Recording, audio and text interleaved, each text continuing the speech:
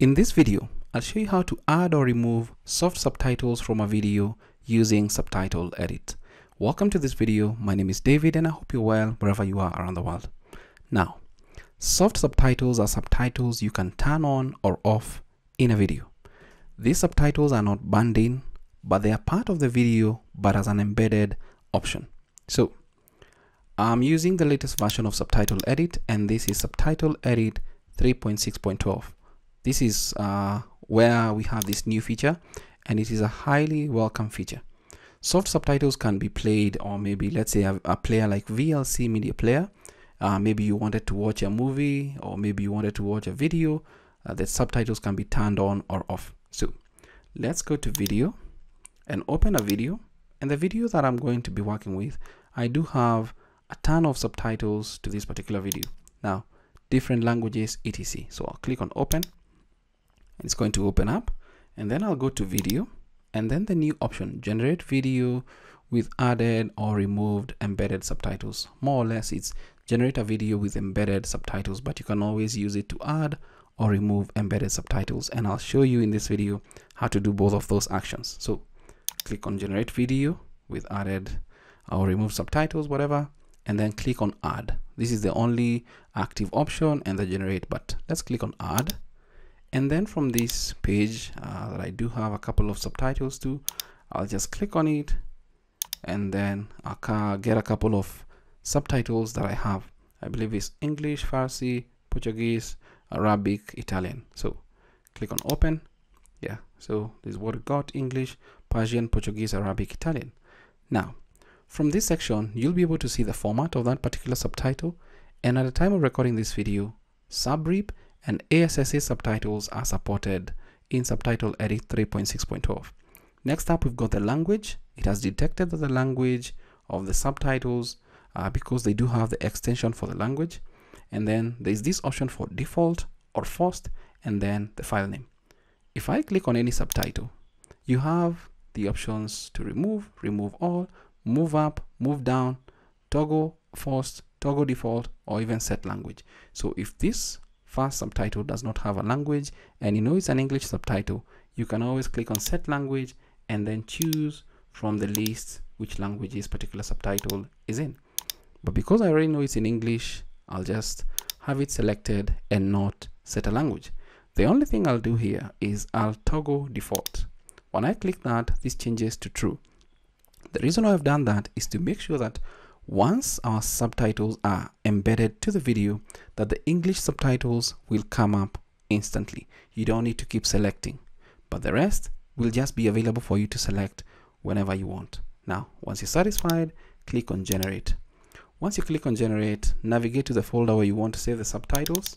I'll just save them here and then you can choose a file name, but I'll leave them as it is uh, and then underscore embedded and then there's a save as type. Now, I'll go for Matroska, but we also have WebM and MP4.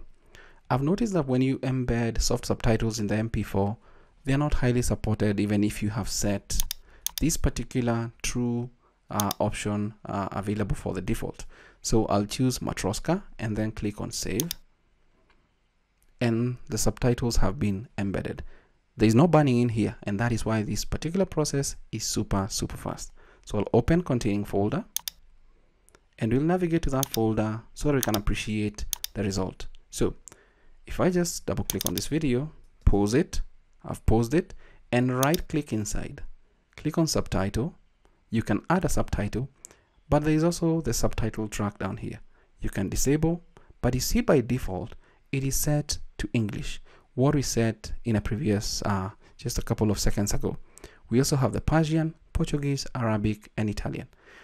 We've now embedded the subtitles to the video. So if we actually play, with the recent update on the YouTube interface, you'll now see the subtitles play as they need to be. If you'd like to change that to a different language, you come back here, just select, let's say Italian, play. It's now easier than before to download YouTube transcripts.